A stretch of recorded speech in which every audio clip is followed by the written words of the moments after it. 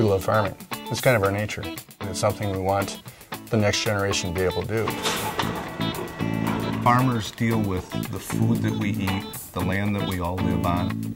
The land is what it all happened on top of. It's a part of the fiber of our family. We want to honor those families who have kept that farm together for 100 to 150 years. It's very exciting thinking about my great grandfather coming and finding this particular spot of land. I've told my boys this often. I've said that farming is a really nice way of life. It really is a wonderful place to grow up, but it's not always a really good way to make a living. I hope that someday my children can grow up on a farm. If it's not this one, something similar because the lifestyle is something that I really enjoy and respect. I just hope that my kids can enjoy that same lifestyle. If we are the only farm sitting here with urban development all around us, for what purpose have we kept the farm? I hope there's seven more generations working here.